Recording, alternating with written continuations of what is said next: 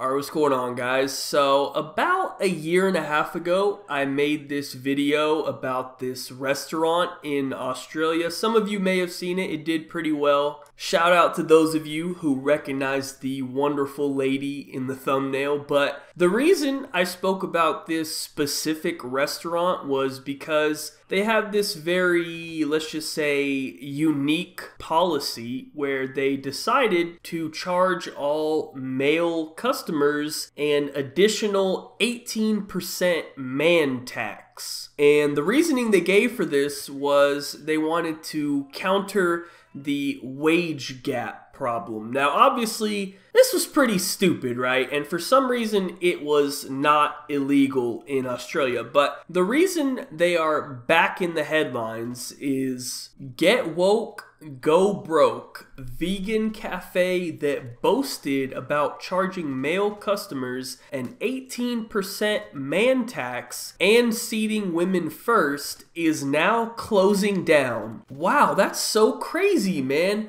Who would have thought that such a genius business idea like this would have failed? I just can't believe it, man. It's almost like it's just simple economics. Like when you open a business, the idea is to target as wide of a demographic as possible. Therefore, you can bring in the most revenue, but to me, it seems like they did the exact opposite. I mean, number one, they're vegan. Now, I've never been to a vegan restaurant in my life. I mean, I'm just not interested in eating soybeans for dinner or whatever they eat. I don't know. I need some fresh meat in my mouth. Yes, I know how that sounds, and I don't care. So you're already targeting an extremely tiny percentage of the population off the bat just by going vegan. And then on top of that, you add on this 18% ridiculous man tax. And by doing so, you've basically just eliminated half of the vegan population as well because ain't no man coming into your restaurant just to get taxed 18% even if he was vegan, right? So I just fail to understand the thought process behind this decision. Like, I guess they thought that charging men 18% more meant that they were gonna see 18% more profit? I mean, I guess it makes sense, right? It's just simple math. Charge 18% more, get 18% more money, right? I mean, what's the issue? Oh, wait, the problem is they didn't account for the fact that people aren't fucking stupid and they're not just going to pay 18% more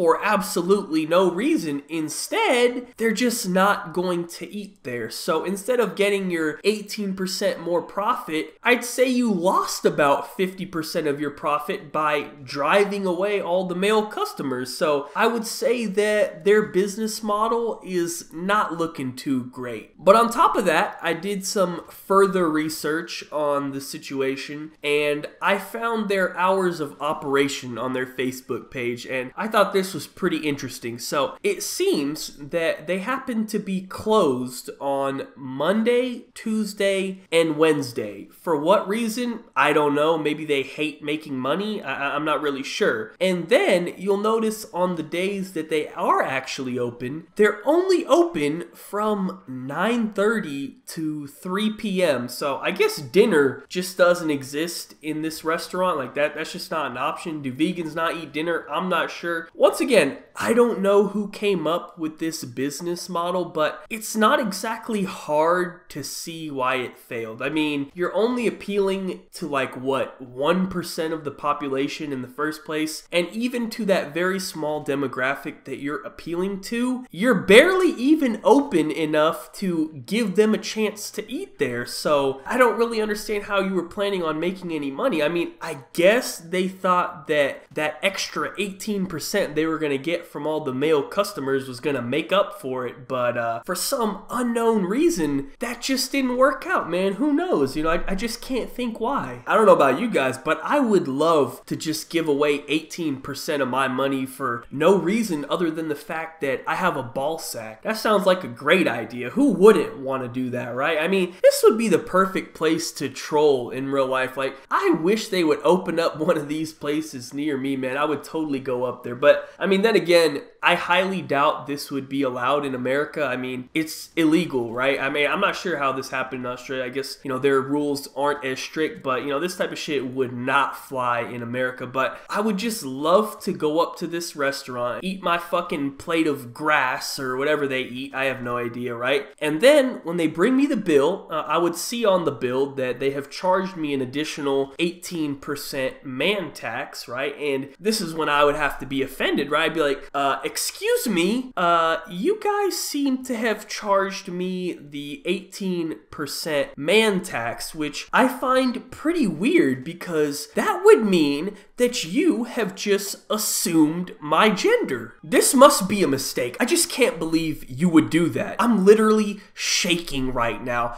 I came to this restaurant because I thought it was a safe space for gender neutral organisms like myself, but instead, you guys just assumed my gender. I mean, just because I have a dick doesn't give you the right to call me sir. Honestly, I'm disgusted by these actions. You know, you know what I'm saying? Just, you know, something like that, you know, maybe maybe tone it down a little bit. That might have been a little bit too much. But then again, I've seen people that actually act like that, so maybe not. But I would just love to see the reaction that I got to that. That would be a perfect YouTube video. But anyways, that's my thoughts on the situation. You know, we got to be fair when we're judging this situation.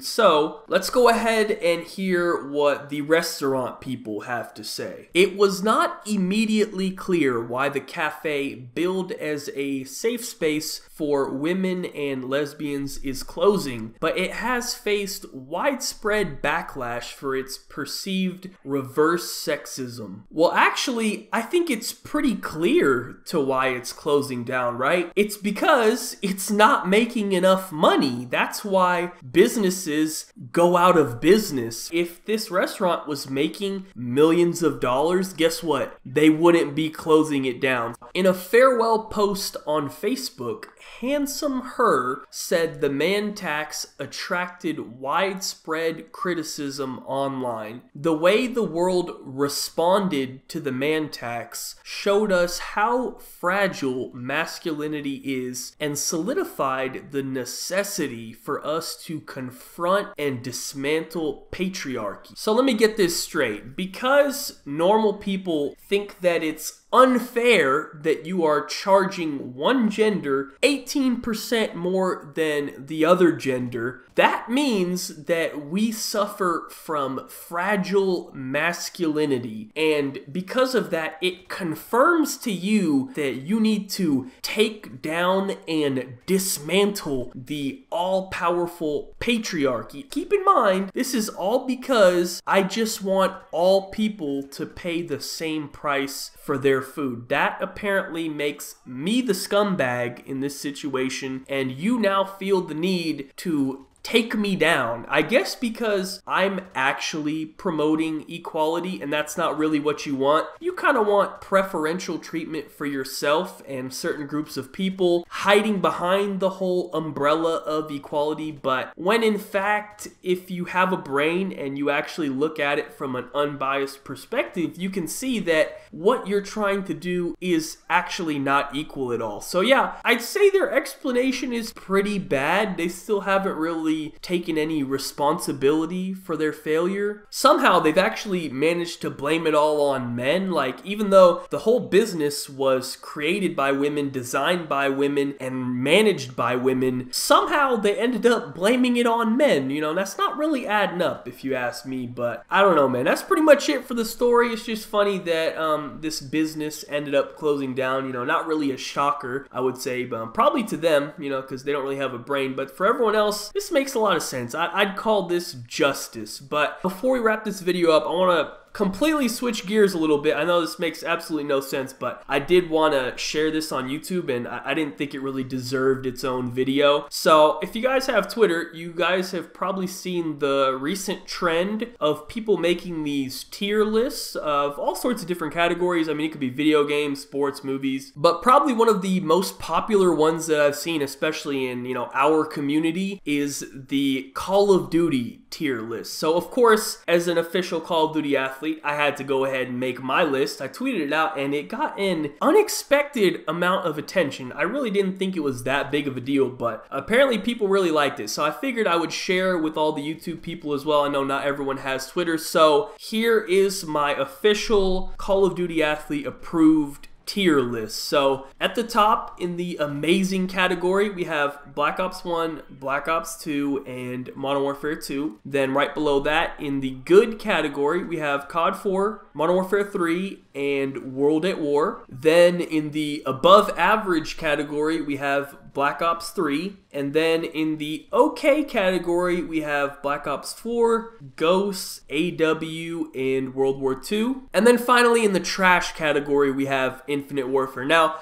I will say you could probably convince me to move most of these either up one spot or down one spot. A lot of them are pretty close. But overall, I like this list. It's it's only factoring multiplayer, by the way, no campaign or zombies. I don't play any of that shit, so I can't really rank that. This is just a multiplayer Call of Duty list. But, you know, I figured I'd share it with you guys. Anyways, that's pretty much it for the video. Thank you guys so much for watching. Be sure to leave a like rating if you enjoyed. Subscribe if you're not already. Follow me on Twitter. Links in the description down below. Other than that, have a good day and peace out.